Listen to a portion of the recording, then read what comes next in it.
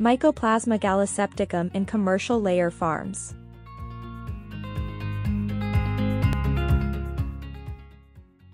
For poultry producers across the globe, Mycoplasma gallisepticum is among the top 5 disease challenges, and can result in significant drops in productivity, and economic losses, and impact the welfare of the flock. Mycoplasma gallisepticum is the causative agent of chronic respiratory disease in chickens and infectious sinusitis in turkeys and chickens. They lead to huge economic losses in the poultry industry causing reduced hatchability and egg production, thereby increased costs of control, which involve site cleaning and depopulation, and increased costs of medication and vaccination. A new study is conducted to isolate and identify Mycoplasma gallisepticum in commercial layer farms.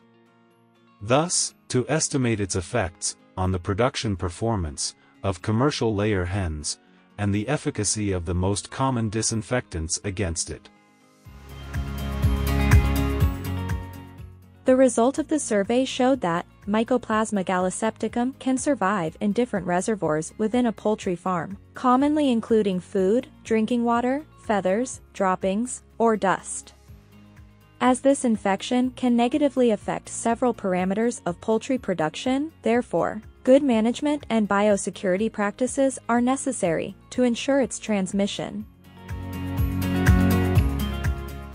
The authors emphasize the evaluation of the disinfectant's efficacy to minimize the microbial load. Improper sanitation procedures might be ineffective in disease control, and further lowering the bird production performance.